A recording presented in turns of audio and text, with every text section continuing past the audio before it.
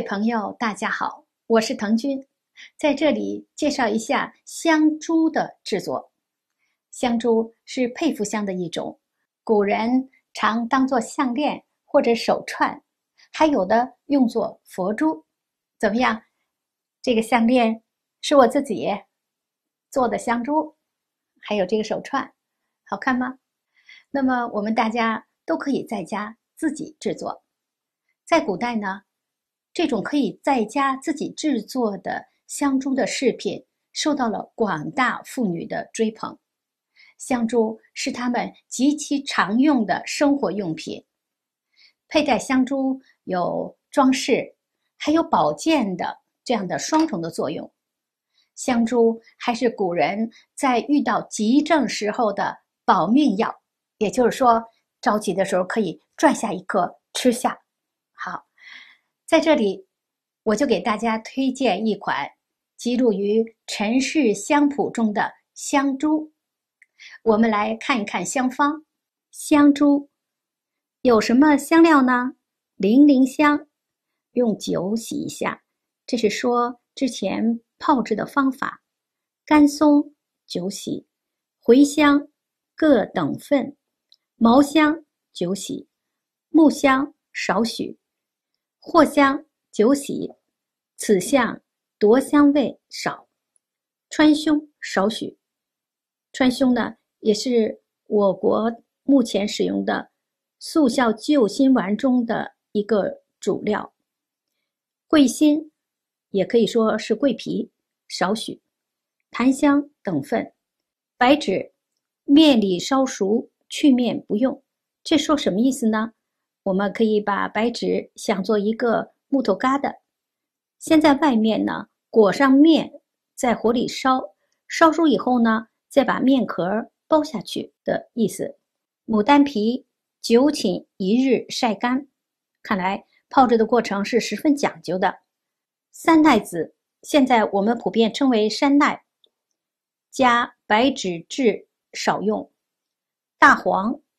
蒸过此项收香珠，又且染色，这是什么意思呢？是说我们做好的香珠外面可以裹上一些大黄，增加它的颜色。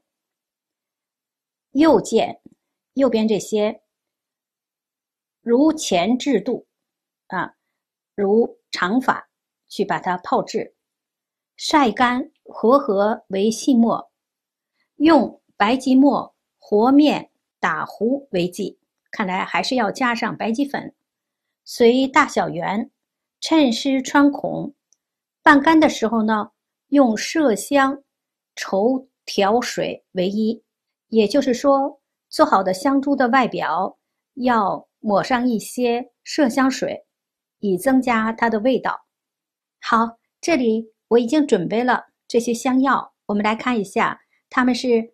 零陵香、甘松、茴香、茅香、木香、藿香、川芎、桂皮、檀香、白芷、牡丹皮、三奈子，也叫山奈、大黄。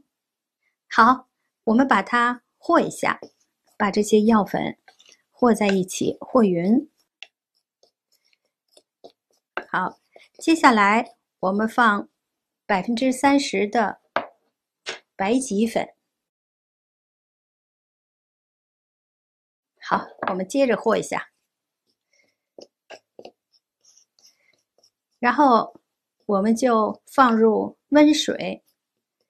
这个水呢，最好和人体的温度差不多，好，三十度到四十度。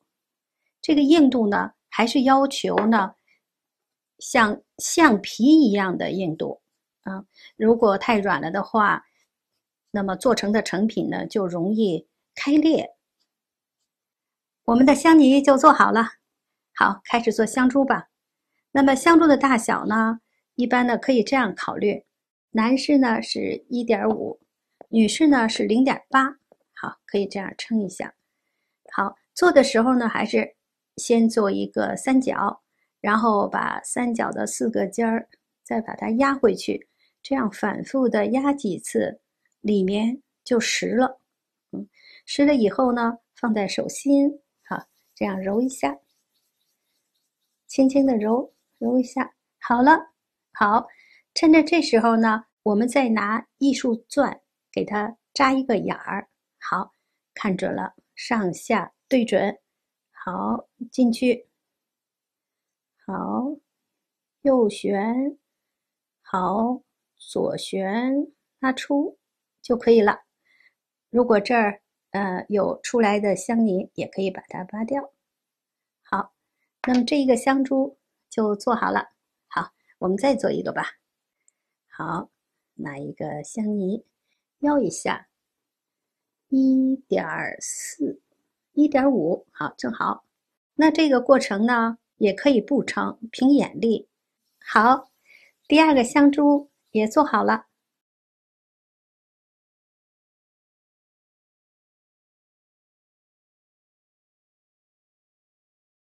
不难吧？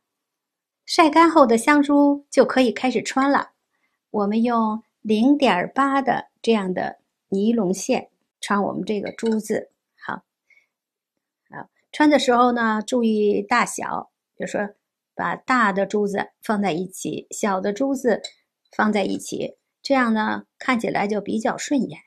嗯，不要大大小小的。当然呢，你如果做的时候呢，呃，经过很严格的称重，那就没有这个问题。女生的珠子呢，一般是十八颗。男生的珠子一般是二十颗，就差不多了。彩珠放多少呢？最好少放一点，嗯，这样呢不会把香珠的存在感压下去。我这个珠子基本就这样了，然后把它系起来，系紧，然后我们用剪刀把多余的线头把它绞下去。嗯好了，香珠就做好了，怎么样？戴上试试吧。嗯，很不错，一点也不难。香珠以常用为好，越戴越润。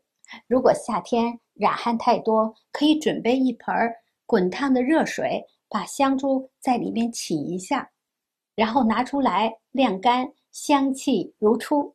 嗯，不用的时候应该放在塑料袋子里密封起来。